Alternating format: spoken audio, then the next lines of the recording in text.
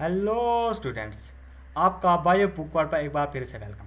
हमने plant systematic का subject start किया है, जिसमें हमने फ़र्स्ट लेक्चर में इंट्रोडक्शन ऑफ़ सिस्टमेटिक्स टेक्सोनोमी और उसके एम्स और नेक्स्ट लेक्चर में हमने नोमन क्लेचर और उसकी हिस्ट्री और बायनोमियल नोमन क्लेचर यानी नेचर में जितने भी प्लांट्स हैं, उनको किस तरह साइंटिफिक नेम गिवन किया जाता है। अगर किसी स्पीशीज के दो आथर हो, एक ने उसके जीनस को आइडेंटिफाई किया और सेकंड उसके स्पीशीज को आइडेंटिफाई किया हो तो फिर उसके लिखने का कौन सा रूल है? अगर उसके साथ ईयर को हम लिखेंगे, फिर उसके कौन से रूल्स हैं? ऐसे वो कौन से केस हैं जिसमें हम जीनस और स्पेसिफिक एपिथेट यानी स्पीशीज के नाम दोनों को हम कैपिटल लेटर से शो करते हैं। तो इन सब चीज़ों को हम बेसिक टू एडवांस हम प्रीवियस लेक्चर में कवर कर चुके हैं। तो आज के लेक्चर में nomenclature of hybrid plant यानी वो प्लांट्स जो पहले नेचर में एग्जिस्ट नहीं करते थे। हमने दो डिफरेंट स्पीशीज का आपस में क्रॉस पोलिनेशन कराया और उसके रिज़ल्ट में जो हमारे पास न्यू प्लांट यानी न्यू स्पीशीज प्रोड्यूस हुई, हम उसे कहेंगे हाइब्रिड प्लांट नेक्स्ट हमारे पास है हाइब्रिड जेंडा यानी जो हमारे पास प्लांट स्पीशीज होगी, वो किसी जीनस का ही एक मेंबर होगा। उस जेंडर को हम किस तरह शो करेंगे, किस तरह रिप्रेजेंट करेंगे कि हमारे पास ये हाइब्रिड जेंडर है। उसके बाद हमारे पास है कल्टिवेटेड प्लांट यानी जितने भी हमारे पास वाइल्ड स्पीशीज होते हैं वाइल्ड प्लांट्स होते हैं, हम उसको कल्टिवेट करते हैं होर्टिकल्चर और एग्रीकल्चर के लिए, अपने यील्ड को इंक्रीज करने के लिए। तो इनको लिखने के कौन कौन से रूल्स हैं? तो वन बाई वन हम इसको डिस्कस करते हैं। फ़र्स्ट वन हमारे पास है हाइब्रिड प्लांट इसकी डेफिनेशन को हम देखें तो offspring of two different species और varieties is called hybrid plant यानी दो डिफरेंट स्पीशीज़ का जब हम आपस में क्रॉस पोलिनेशन कराते हैं, और उसके रिज़ल्ट में जो हमारे पास न्यू प्लांट प्रोड्यूस होता है तो हम उसे कहेंगे हाइब्रिड प्लांट अगर हम इसे डायग्राम में देखें, ये जो आपको प्लांट नज़र आ रहा है, इसका नाम है पोमेटो पोटैटो और टोमेटो के वर्ल्ड को जब हम कंबाइन करते हैं तो उस रूल्स के हिसाब से इसका नाम है पोमैटो देखें, इस प्लांट में आपको जो रूट्स हैं, वहाँ पर आपको पोटैटो शो हो रहे हैं और उसके ऊपर वाले जो एरियल पार्ट्स हैं, वहाँ पर आपको टोमेटो शो हो रहे हैं, यानी टमाटर आपको शो हो रहे हैं। तो एक ही प्लांट पर हमारी दो रिक्वायरमेंट्स फुलफिल हो रही हैं। पोटैटो भी हमें मिल रहे हैं और टोमेटो भी मिल रहे हैं और कम वक्त में बहुत ज़्यादा यील्ड हमें मिल रही है। तो ये हमारे पास हाइब्रिड प्लांट है। अकॉर्डिंग टू नोमन जो इसका नाम है, वो है पोमेटो का। This cross pollination is done to combine desirable traits from each parent such as disease resistance, improve yield और unique characteristics यानी हम अपने डिज़ायरेबल ट्रेड जो हमारे पास होंगी वो हम अचीव कर सकते हैं दोनों पेरेंट से।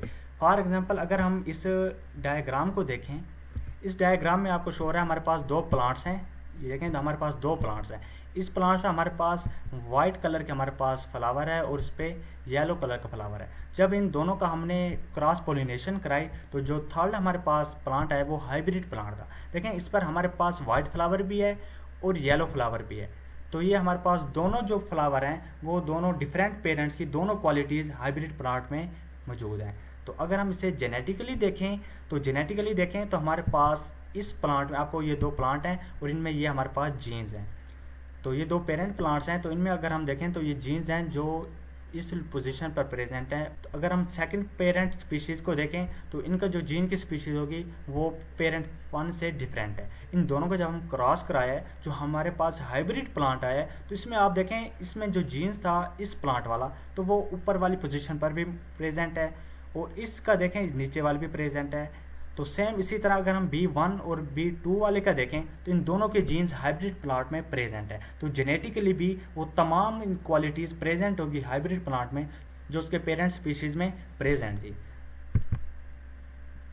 नेक्स्ट हमारे पास है hybrid genera the taxonomic groups that are form by the crossing of two different genera यानी दो डिफरेंट जनरा का जब हम आपस में क्रॉस कराएँगे तो हम उसे कहेंगे हाइब्रिड जनरा याद रहे, जो हमारे पास हाइब्रिड जनरा है जनरा मिलके फैमिलीज़ बनाती है। तो एक फैमिली में दो डिफरेंट जनरा का क्रॉस जब हम करेंगे तो हम उसे हाइब्रिड जनरा कहेंगे।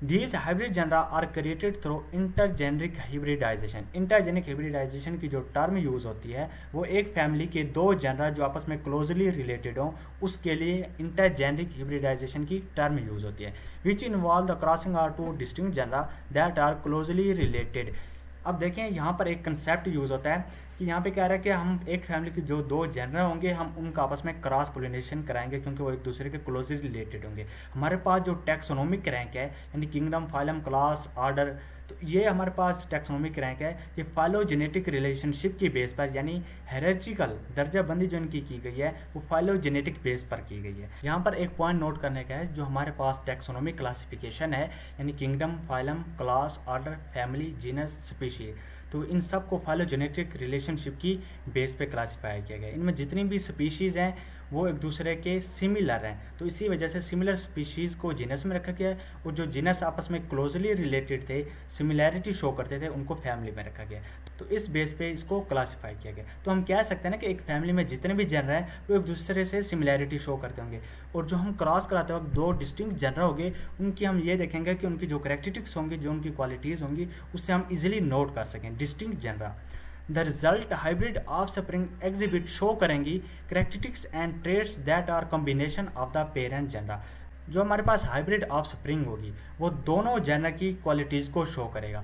फॉर एग्ज़ाम्पल अगर हम इस डायग्राम को देखें तो आप ऐसे समझिए जो हमारे पास व्हाइट फ्लावर वाला प्लांट है, ये किसी और जनर का है, और जो येलो फ्लावर वाला है, ये किसी और जनर का है। तो हम इन दोनों का आपस में क्रॉस कराया, जो हमारे पास ऑफ़ स्प्रिंग का है।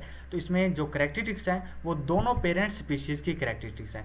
तो नेक्स्ट हमारे पास एग्ज़ाम्पल है टेंगलो के। इट इज़ ए हाइब्रिड है बिटवीन टू सिट्रस जेनरा अगर हम इसको देखें, हमारे पास एक ग्रेप फ्रूट है जो और जेनरा का है, और हमारे पास एक टेंगरीन है जो और जेनरा का है। इन दोनों जेनर का जब आप में क्रॉस कराया है तो हमें जो फ्रूट मिला है वो टेंगिलो है। देखें, इसमें आपको दोनों का डिफरेंट नज़र आ रहा है। डिफरेंस है दोनों डिफरेंट जेनर का है, लेकिन जब दोनों का क्रॉस कराया है तो हमें वो डिफरेंट स्पीशीज़ मिली है, जो दोनों की ही करेक्टरिस्टिक्स शो कर रही है। नेक्स्ट वन हमारे पास है इंटरजेनरिक हाइब्रिड। यानी जो टर्म हमारे पास ऊपर यूज़ हुई थी, इंटरजेनिक हाइब्रिड की a cross between two plants in two different genera in the same family इसके लिए हम जो टर्म यूज़ करते हैं, वो इंटरजेनिक हाइब्रिड की यूज़ करते हैं।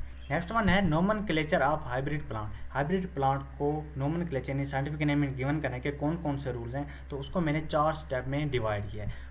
फ़र्स्ट वन है डिटरमाइन द पेरेंट स्पीशीज यानी हमारे पास जो हाइब्रिड प्लांट होगा, उसके दोनों पेरेंट स्पीशीज़ का हमें पता होना लाजमी है। उसी के बेस पर ही हम उसको नेम गिवन कर सकते हैं। Identify the two parent species that were cross to produce the hybrid plant for example हमारे पास दो स्पीशीज़ हैं, एक है रोज़ा कैनिना एक है रोज़ा रुकोजा ये हमारे पास एक हाइब्रिड प्लांट की दो पेरेंट स्पीशीज़ का नाम है। सेकेंड स्टेप जो हमारे पास है write the genus name write the genus name which is the first part of the botanical name the genus name is Rosa according to binomial nomenclature किसी भी स्पीशीज का जो नाम होता है, वो दो पार्ट पर होता है। फ़र्स्ट पार्ट उसका जीनस होता है, जो सेकंड होता है, वो उसका स्पेसिफिक एपिथेट होता है। तो हमने उसका फ़र्स्ट पार्ट जो जीनस होगा, हमने उसको नोट करना है। सेकंड स्टेप में हम लिखेंगे write the species name of the first parent जो फ़र्स्ट पेरेंट का जो नाम होगा, हम उसको नोट करेंगे। फ़र्स्ट पेरेंट का जो नाम था, वो कैनिना था। रोजा कैनिना। तो हम कैनिना यानी उसके स्पेसिफिक एपिथेट को नोट करेंगे। फोर्थ हमारे पास है write the species name of the second parent जो सेकंड पेरेंट था, वो हमारे पास रुकोजा था। तो फिफ्थ स्टेप में हम फोर्थ पॉइंट्स को कंबाइन करेंगे। Combine the specific names of the parent species using an X symbol जो हमारे पास एक्स सिंबल है, वो हाइब्रिड स्पीशीज यानी हाइब्रिड क्रॉस को रिप्रेजेंट करेगा। अब देखें, अब हम फाइव पॉइंट्स को इस एक एग्ज़ाम्पल में हम इसको क्लियर करते हैं। फ़र्स्ट वन हमारे पास है रोज़ा कैनिना, जो हमारे पास फ़र्स्ट पेरेंट स्पीशीज था, वो क्या था? रोज़ा कैनिना। तो हमने रोज़ा लिख लिया, जो हमारे पास जिनस था, उसके बाद कैनिना, जो हमारे पास स्पीशीज़ का नाम था, उसको लिखा। उसके बाद हमने क्रॉस का निशान लगाया, उसके बाद रोज़ा रिगोजा जो हमारे पास सेकंड पेरेंट का नाम था। तो इसी तरह हम किसी भी, जो हमारे पास हाइब्रिड प्लांट होगा, हम उसको साइंटिफिक नेम गिवन कर सकते हैं। तो सेकंड वन हमारे पास है नोमन ऑफ़ हाइब्रिड जेनरा तो हाइब्रिड जनरा यानी जनर को इंडिकेट करने के लिए कौन कौन से रूल्स हैं? इसको तीन स्टेप्स हैं। फ़र्स्ट स्टेप हमारे पास है यूज़ द प्रीफिक्स एक्स यानी किसी भी जनरा का नाम हम जब शो करेंगे कि हमारे पास हाइब्रिड है, उससे पहले मल्टीपल साइन का शो करना लाजमी है, क्योंकि यही हाइब्रिड क्रॉस को शो करता है।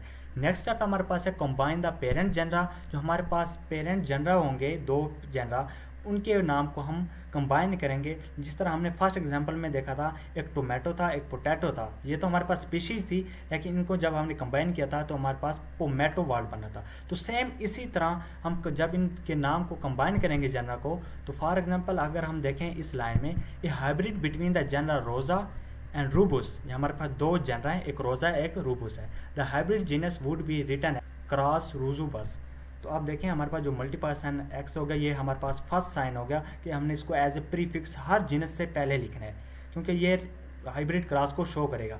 तो नेक्स्ट जो हमारे पास नाम है, वो रोज़ा का फ़र्स्ट थ्री लेटर और रूबुस के लास्ट लेटर इन दोनों को कंबाइन करके जो हमारे पास वर्ड बना है, वो रोजू बस बना है। तो ये हमारे पास एक हाइब्रिड जनरल का नेम आ गया। सेकंड हमारे पास था कंबाइन द पेरेंट जनरल तो थर्ड हमारे पास था उमिड द स्पीशीज़ नेम जो हमारे पास स्पीशीज़ का नाम होगा, हम उसको इंक्लूड नहीं करेंगे। फ़र्स्ट वन हमारे पास एग्जांपल है ट्रिटी कोजिकेल और सेकंड हमारे पास है पायरोनिया अगर हम ट्रिटी कोजिकेल को देखें तो हमारे पास ट्रीटी कम एक जनर है और सिकेल एक सेकंड जनर है। दो डिफरेंट जनर है, जो हम इनके जब नाम को हमने कंबाइन किया है तो हमारे पास ट्रिटी जो इसके फ़र्स्ट नाम है, और सिकेल जो हम इसके लास्ट पार्ट का नाम है। तो इन दोनों को कंबाइन करके ट्रीटी सिकेल नाम हो नेक्स्ट हमारे पास पायरोनिया है तो पायरस पायर लिया है पी वाई आर और साइडोनिया से उसके लास्ट वर्ड लिया है, जिससे हमारे पास वर्ड बना है पायरोनिया, जो कि एक यूनिक हाइब्रिड नेम है। फ़र्स्ट वन हमारे पास स्टेप है choose a unique name select a distinctive name that is not already in use of another plant वो हम नाम यूज़ करेंगे जो किसी भी पहले प्लांट को नाम ना गिवन किया गया हो, या किसी भी कल्टिवेटेड स्पीशीज़ को नाम ना गिवन किया गया हो। इसलिए फ़र्स्ट स्टेप हमारे पास है यूनिक नेम ये होना लाजमी है। This helps avoid confusion maintain clarity within the horticulture community तो हमारे पास जो यूनिक नेम्स होगा, वो एक कन्फ्यूज़न से भी हम बच सकते हैं और उस, वो एक क्लैरिटी शो करेगा हॉर्टिकल्चर एग्रीकल्चर में भी और वो इजीली मेमोरेबल भी होगा। और अब कल्टिवेटेड जो नेम होगा, उसके लिखने के दो फार्मेट हैं। जो फ़र्स्ट फार्मेट है यूज़ सिंगल क्विटेशन मार्क यानी किसी भी कल्टिवेटेड जो हमारे पास प्लांट होगा, जो हम उसको यूनिक नेम देंगे, हम उसको सिंगल क्विटेशन मार्क में हम शो करेंगे। बाइनोमियल नोमेनक्लेचर एज ए जो हमने उसको नाम गिवन किया गया था, जो दो पार्ट थे, वो वैसे के वैसे लिखेंगे। उसके बाद जो वैरायटी का नाम होगा, हम उसको सिंगल इन्वर्टेड कोमाज में लिख देंगे। फॉर एग्ज़ाम्पल अगर हम इसे इसमें देखें द स्पीशीज़ रोज़ा कैनिना जो हमारे पास है, ये हमारे पास स्पीशीज़ का नेम है एज ए बाइनोमियल नोमेनक्लेचर के रूल के मुताबिक। अगर इसकी हमने एक वैरायटी प्लांट को कल्टीवेट किया है तो क्रिम्सन जो ब्यूटी है, वे इसका कल्टीवेटेड प्लांट है। तो हम रोज़ा कैनिना के आगे इन्वर्टेड कोमाज लगाएँगे, जिस तरह हमारे पास ये एक है। इन्वर्टेड कोमाज लगाने के बाद हम इसको क्रिम्सन ब्यूटी एज इट लिख देंगे। सेकेंड वन हमारे पास है सीवी फार्मेट। जो सीवी वर्ल्ड है, वो कल्टीवर के नाम को शो करता है। The cultivar names are written by abbreviation C V for example हमारे पास जो सिट्रूलस हमारे पास है ये तो सिट्रूलस से हम इसकी कल्टीवेशन की है तो इससे हमसे जो न्यू स्पीशीज़ जो आई है, वो है क्रिम्सन स्वीट तो ये एक यूनिक नेम है। इससे आप देख सकते हैं कि क्रिम्सन स्वीट यानी कोई भी ऐसा फ्रूट होगा जो थोड़ा सा मीठा सा होगा तो इसकी स्वीट जो है वो करेक्टरिस्टिक्स भी शो कर रहे हैं। तो हमारे पास ये कल्टीवेटेड प्लांट है सिट्रुलस सी डॉट उसके बाद क्रिम्सन स्वीट याद रहे कि जो हमारे पास कल्टीवेटेड जो नाम होगा, उसके दो पार्ट्स होंगे। दोनों पार्ट्स का नाम जो फ़र्स्ट लेटर होगा, वो उसको हम कैपिटल लिख कैपिटल लेटर में लिखेंगे। सेकंड हमारे पास है Salvia officinalis CV dot tricolor हमारे पास जो ट्राइकोलर है, ये हमारे पास कल्टिवेटेड प्लांट्स है यूनिक नेम है। एज इट हमारे पास जो सेल्विया ऑफिसिनेलिस है, वो बायनोमिल क्लेचर के मुताबिक वही नाम है जो उसका पहले था। एक पॉइंट जो मिसिंग हो गया था, जो हमारे पास हाइब्रिड जन रहा है आईसीबीएन ने एक और फॉर्मेट नोथो का टर्म इंट्रोड्यूस कराई थी, जो किसी भी जनर से पहले अगर हम वर्ल्ड नोथो लिख देंगे तो इसका मतलब होगा कि ये जो जनरा है हमारे पास, वो हमारे पास हाइब्रिड जनरा है। नोतो का वर्ल्ड ग्रीक लैंग्वेज से ड्राइव हुआ है, जिसका मीन्स होता है बास्टर्ड तो हम इस नोतो के वर्ल्ड को अगर हम जैनस के स्टार्ट से लगा दें तो हम, हमें आइडिया हो जाएगा कि ये हमारे पास जो जनर है, ये हाइब्रिड है. तो आज के लेक्चर में हमने हाइब्रिड प्लांट हाइब्रिड जेनरा और कल्टिवेटेड प्लांट्स के नॉमन को डिस्कस किया. तो नेक्स्ट लेक्चर में हमने आईसीबीएन आईसीबीएन के रूल्स को और उसके नेक्स्ट जितने भी हमारे पास एस्टिमेटिक्स में जो इंपॉर्टेंट टॉपिक हैं तो हम उनको कवर करेंगे. अगर आपको कोई भी कन्फ्यूज़न हो तो आप कमेंट कर सकते हैं. अगर आपको पी डी फॉर्म चाहिए तो मुझे व्हाट्सएप पर भी कॉन्टैक्ट कर सकते हैं। मिलते हैं नेक्स्ट लेक्चर में। Bye bye tata